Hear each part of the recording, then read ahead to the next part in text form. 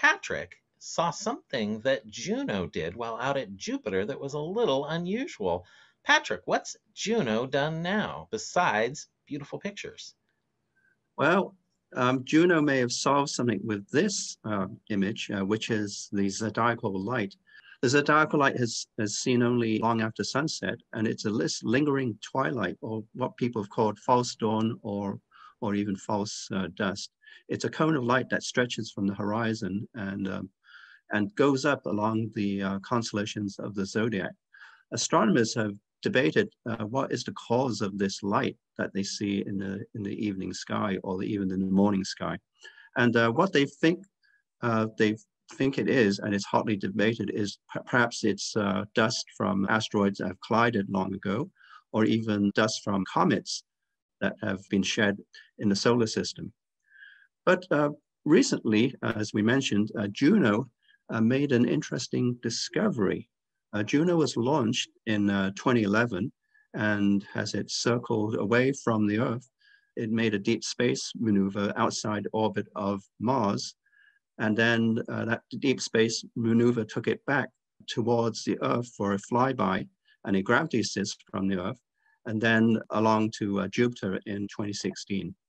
Now, this is interesting because during that time, when it was uh, moving um, in between the orbits of Mars and, and, and Earth. Uh, the Juno spacecraft um, solar panels were hit by microscopic dust particles. And these dust particles uh, were hitting the uh, solar panels at roughly about 10,000 miles per hour. Uh, they were actually observed by the star tracker instruments. Uh, here we see an image with three reference stars that are used to orientate the uh, Juno spacecraft. But the object in the red circle is actually debris that was dislodged by the uh, impacts of the dust. Now, from the instruments on Juno, investigators were able to make a map of the distribution of the dust um, uh, that uh, Juno had encountered. And they found something very interesting. They found that the dust uh, is actually centered around the orbit of Mars and is densest, uh, closest to the orbit of Mars, suggesting that Mars could be the source of the interplanetary dust that uh, causes the zodiacal light. Now we know that Mars has dust storms, and uh, when it's calm, you can see most of the surface of Mars, as you can see in this image uh, taken by the Hubble Space Telescope. But at right, um, when a dust storm rages, it can cover the entire planet uh, with dust and then markings will be very difficult to see.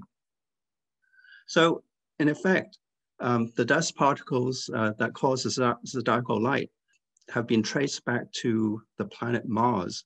The question the scientists have now have to answer is how can the dust leave the gravitational field of Mars and go out into space and produce these uh, beautiful zodiacal lights we, that we can see in, uh, in the evenings, uh, especially in March here in Northern Hemisphere, and, and also in the mornings in, the, um, in November in the autumn.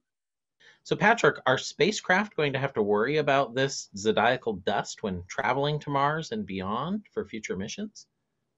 That's an excellent question. Uh, in fact, uh, the distribution of dust that's being mapped out uh, by Juno actually provides a way of um, knowing where the dust is densest. And so for future spacecraft going, traveling out from, um, from the Earth, uh, past Mars and onto Jupiter or even beyond, uh, they will know how to uh, craft an orbit that will avoid the densest uh, distributions of the dust.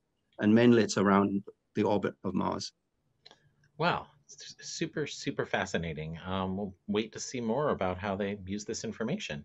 Now, Juno, as we all know, uh, is we're used to seeing beautiful images of Jupiter's atmosphere and clouds, kind of like these ones you see here.